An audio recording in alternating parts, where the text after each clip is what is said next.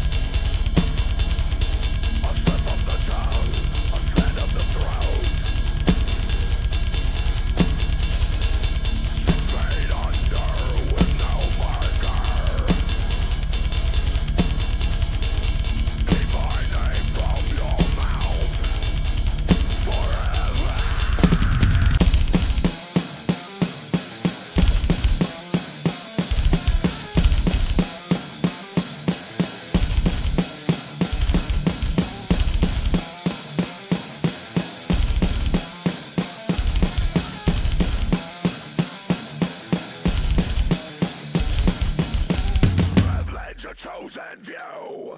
That's our time